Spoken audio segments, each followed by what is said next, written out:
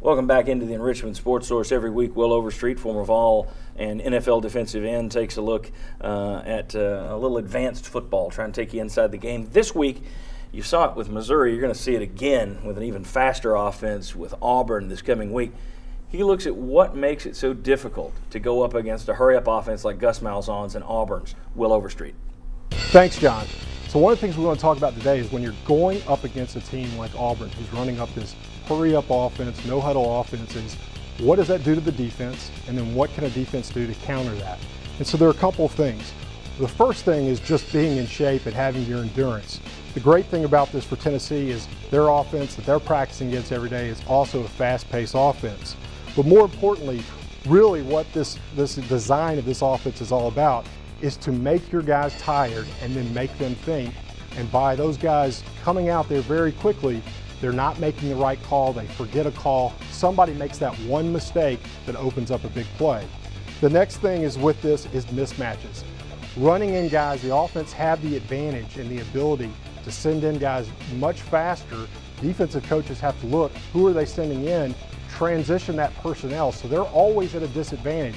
So personnel changes with a hurry up offense can also really affect the defense because you're not getting into personnel that matches up with who you would ideally like to be out there on the field at the same time. There are a couple of things, though, that defenses are going to do to help with that. One is the wristband. So when we talk about this, is every player on the field has a wristband on with the plays with a call number that they can hold up on the sidelines. What this does is keeps your defense from having to go back into a huddle and everybody make the call. Basically, every guy's going to have to know on that team if they get in that situation, they've got to know how to make their own call and do their own play. The next thing is a go-to call. This happens not only with hurry up kinds of offenses, but when a team does a lot of motion, they're basically just trying to get your guys to make mistakes mentally. So what you do is, as a defensive coordinator, you want guys reacting. You want them playing ball. You don't want them thinking too much. So the biggest thing you can do is come in and say, guys, if they keep doing this, we're going to just have a base call. And we're going to say, we haven't gotten to play in long enough, middle linebacker, you make the call and everybody go play it. It may not be perfect, but it's all about football. Somebody's got to make a play. So, John, hopefully this defense can match up, do a couple of these things. It's going to be good that they've had this offense that they've been practicing up against all year long, but it still is a really requirement and challenge to really match up mentally and get the right guys. So, back to you guys. Thanks to Will Overstreet. Uh, guys, uh, Tennessee has not performed well on the road this year. I don't think there's any any secret about that. They've also played some pretty darn tough teams on the road. This week they're coming home against an Auburn team that will be the fifth top 10 team Tennessee will have played this year, which is unreal.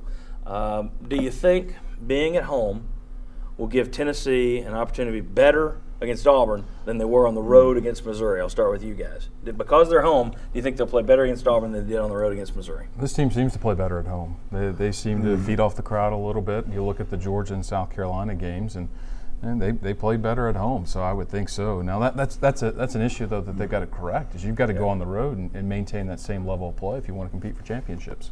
Um, I, I always like the road better, and reason being is because there's, there's, less chaos. You know, I mean, you, are not getting any tickets for anybody. You don't have to remember, hey, I got to eat dinner with anybody after the game.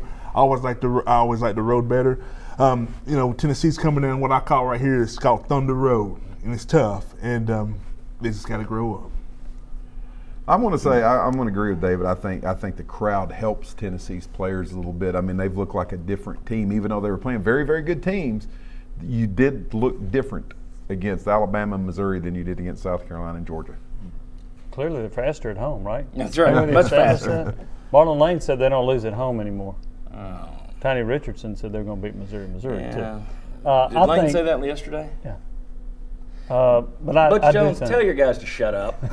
just, just, hush your guys. But he didn't tweet it. Uh, I, I, do think that uh, Tennessee will play much better against Auburn at home. Whether or not they're going to be fast enough to deal with that zone read and all the things that Auburn does, I don't know. I do think Tennessee's going to have a chance to win this game. They didn't have a chance to win those other four on the road. I think they'll have a chance to beat Auburn. Am I the only one that thinks that's ridiculous? This Tennessee team that's got its butt kicked so many times this year, having anybody on that roster open their mouth in any positive way. Am I the only one that thinks that is incredibly off base? No. No. No. No. Thank you. We'll be back on the Richmond Sports Source.